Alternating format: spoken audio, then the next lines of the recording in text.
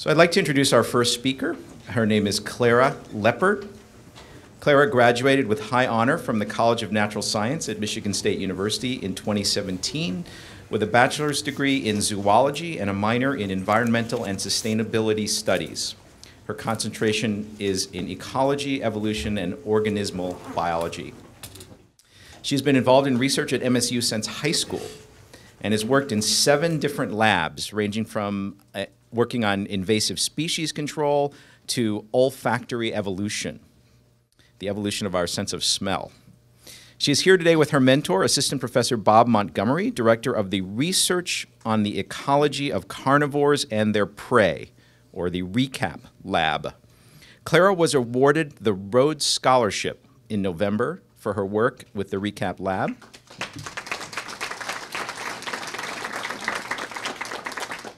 And she will be starting her master's degree this fall at the University of Oxford, studying the ecology of lions and conservation biology. Clara, welcome. Thank you.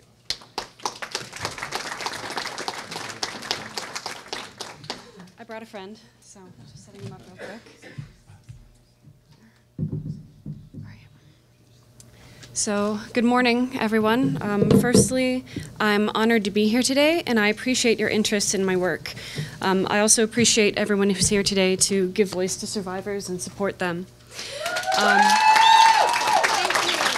I, I came to MSU because I believed it would best prepare me for a career in wildlife ecology, and I'm happy to know that it's a topic the board cares about as well. Um, as Dr. Zhu mentioned, I was awarded the Rhodes Scholarship and I'm on my way to Oxford this fall. Uh, the Rhodes intends to help people who will be innovators in their field and show a capacity for leadership worldwide. The work that I've done here at MSU has prepared me to be a leader as the field of wildlife conservation grows and undertakes massive change. As, uh, as the child of two actors, my entire life has been an intersection of art and science, and I've carried that value for synergy with me. Um, it's one of the things that makes me unique, and I think it's reflected in the work that I've done so far. Uh, while I've worked in a variety of labs at MSU, the most meaningful project that I've been involved with is the Snares to Wares initiative. This program, based in Dr. Montgomery's RECAP lab in the Department of Fisheries and Wildlife, develops progressive conservation philosophies by addressing the human livelihood problems that lie at the heart of these issues. For example, throughout East Africa, wildlife are threatened by wire snares that are set to capture bushmeat in national parks. And now uh, Dr. Montgomery and I will do a quick example of a snare uh, at work, as it would in the field. So imagine this wire is attached to a tree, and that Dr. Montgomery is an animal passing by and then you pull away. As you can see, the further he walks away, the, the tighter he's held. Thank you.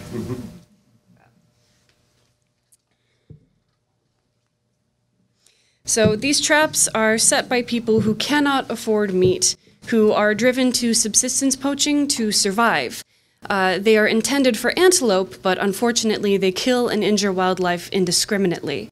Uh, at present, our team estimates that 40% of the lions in Murchison Falls National Park have snaring injuries. So, our team, uh, made up of MSU graduate students, researchers, and rangers from the Uganda Wildlife Authority, removed these wires from the park. Uh, this protects wildlife from being ensnared, but it doesn't address the root of the problem, so more still has to be done. So, we take these wires back into the village of Pakwach, next to the park, and put them into the capable hands of local artisans. They create beautiful sculptures of wildlife, like this one that you see before you. By selling that art to us and in the local marketplace, they can provide support for their families and not be driven to subsistence poaching in the first place. This initiative is nearing three years old, and we already support 250 artisans uh, in Pakwach and the surrounding villages. Uh, I got to spend three months uh, in the field last summer, and this experience taught me much about transitioning from theoretical science to applied science. Conservation presents a host of complex problems, and addressing those problems requires a host of skills. It's no longer enough to study animals and people in isolation and theorize on their possible connections. Wildlife ecologists like me must work hand in hand with those who specialize in fields like social work, policy, business, and the arts. This interdisciplinary philosophy is the foundation of the Recap Lab's work.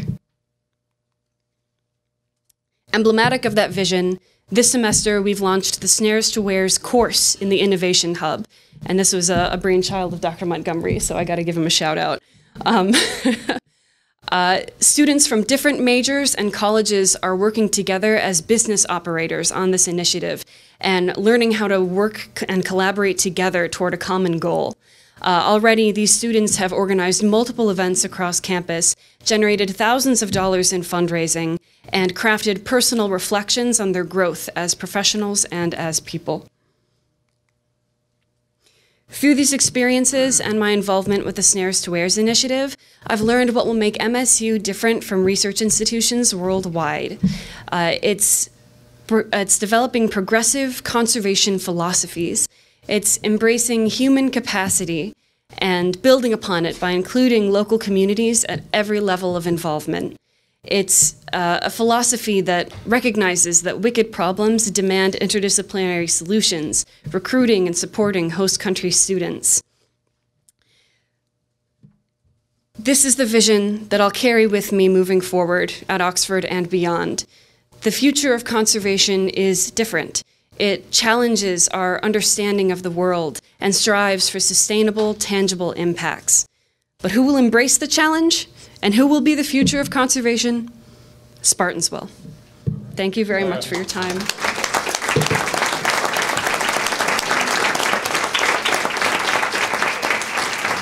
Any questions of Clara? Anybody have a? I'm happy to answer I any want to questions. say, I believe you had a booth or a demonstration at Autumn Fest. If I remember right, the, the snares, I, re- I remember Yes. seeing. Yeah, we've been at a, at a, at a number of events, so you've probably seen us I- I around think campus. That's where I saw. the- Yeah. Good, well, Claire, with the. Can we buy fundraising- the art somewhere? Hmm? Can we support? Yes. How can we support? Yes, absolutely. Uh, so we're currently working on an online marketplace, but in the meantime, you can email either myself or Dr. Montgomery, and we are happy to arrange sales. We're also um, in connection with several zoos across the country that are offering them in their gift shop, and we're collaborating with Cass Community Services in Detroit, and they'll also be helping us sell the wares themselves.